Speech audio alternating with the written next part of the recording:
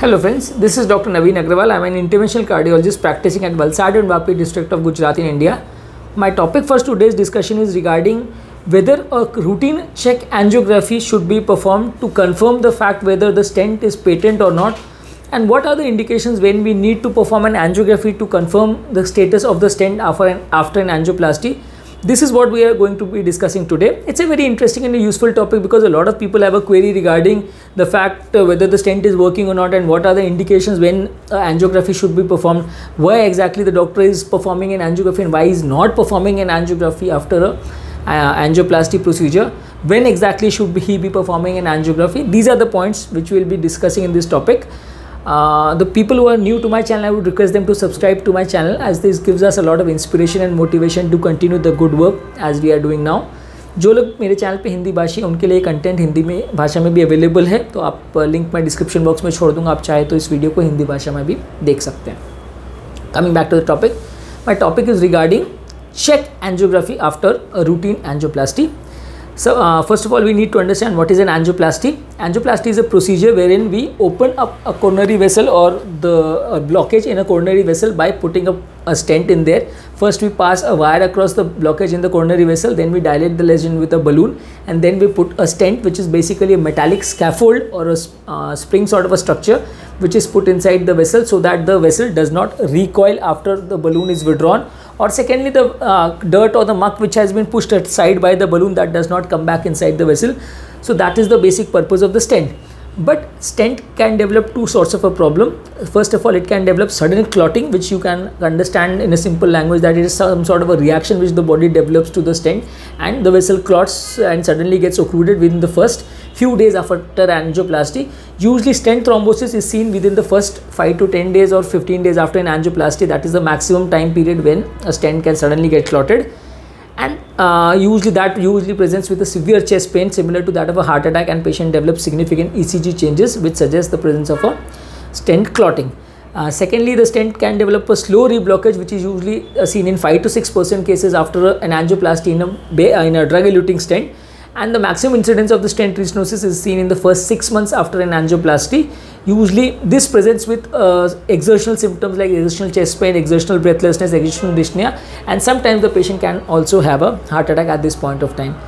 Routine check angiography is not done. The reason is that the incidence of stent clotting is only 1% and incidence of stent reblockage is only 5%. So you should not perform an angiography on 100 patients after an angioplasty just to find out those one or two patients which are developing problem. And that too if at all we appropriately screen and find out the patients where who are more likely to have a stent thrombosis or stent restenosis. In these patients, we should ideally perform an angiography because the chances of finding a problem in these patients are much higher if at all we appropriately screen our patients rather than doing a routine check angiography for each and every patient. Suppose we are suspecting a stent thrombosis. The likelihood of the patient developing stent thrombosis is maximum in the first 10 to 15 days. Future also it can develop only if the patient misses out on the medicines or is resistant to the medicines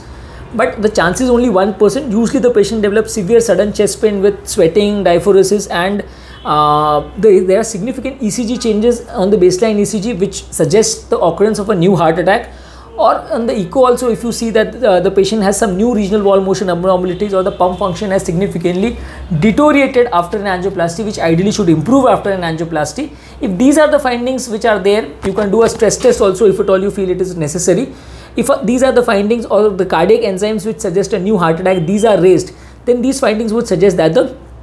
patient is having a stent thrombosis and the patient requires an urgent check angiography. Most likely in uh, majority of the cases, it's the ECG changes which is the deciding factor which uh, suggests that the patient requires a check angiography if at all the patient is having significant chest pain or symptoms after an angioplasty. Secondly,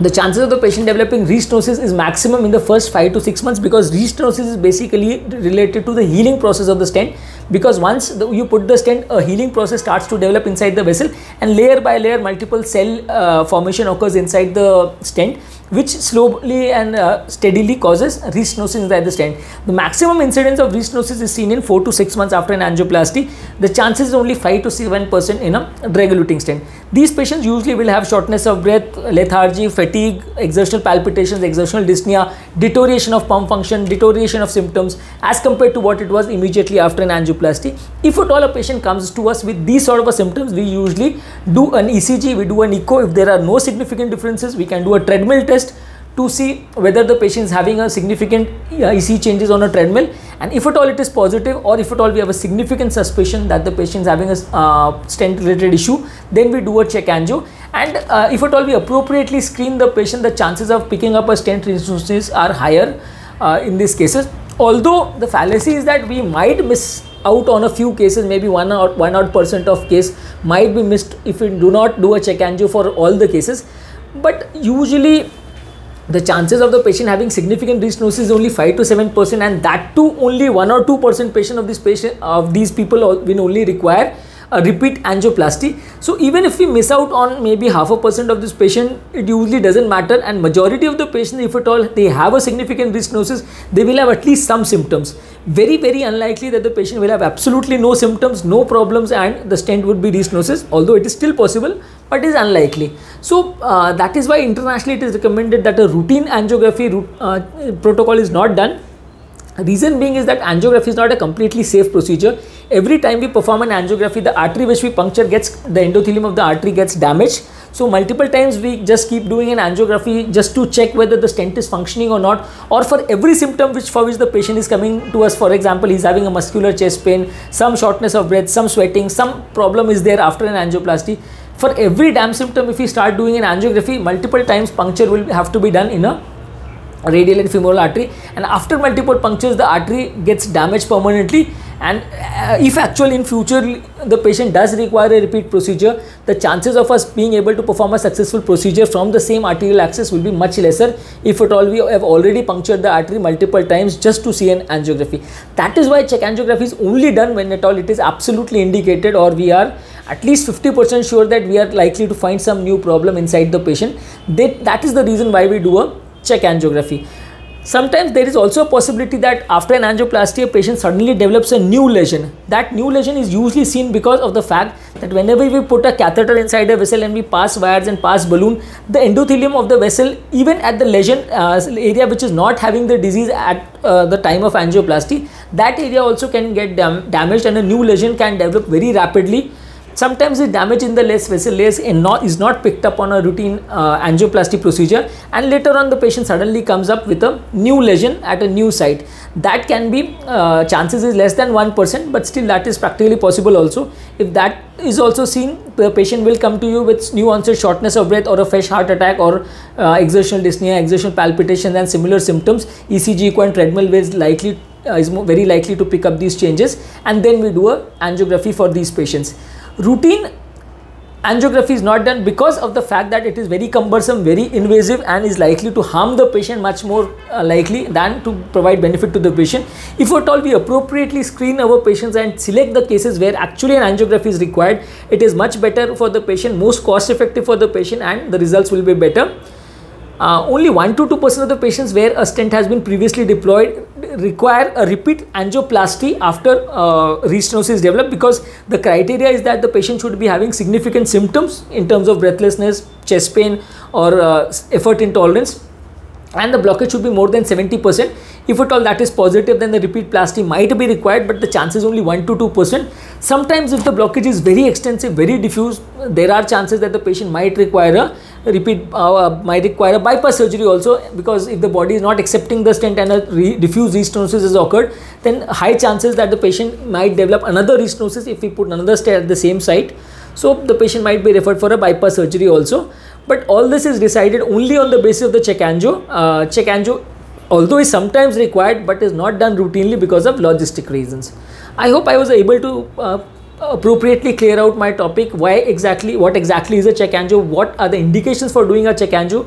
why it is not done on a routine basis uh, because of logistic issues? What are the logistic issues and uh, what exactly are we expecting to find if at all we do a check angio in these cases and uh, how exactly do we manage it? This is what we have discussed in this topic and i hope that i was able to make my topic clear. The uh, purpose of my channel is that I, I wish to create uh, make a scientific awareness amongst the masses so that they can make appropriate decisions about their patient and they can understand the disease process so that they can better manage their patients and better take care of their patients uh, usually for this sort of information people are dependent on the doctors and their friends and relatives to make this uh, knowledge and information available to them. But doctors because of time constraint may or may not be able to uh, deliver all the information to you. And friends and relatives usually uh, have a half correct information which if at all you follow uh, for your patients it might sometimes be, be detrimental to the interests of your patient if at all you like the concept of my channel i would request you to like my, my video subscribe to my channel. If you and if you feel that the content of the videos is uh, useful for your friends and relatives you can share the link of the videos with them.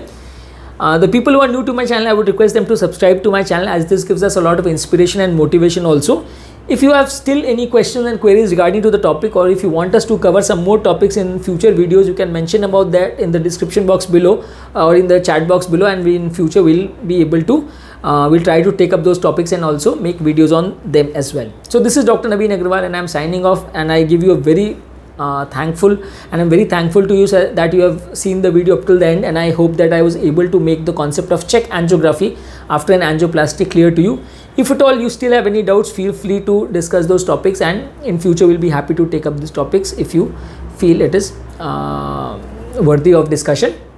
The people who are new to my channel please subscribe to my channel. Thank you.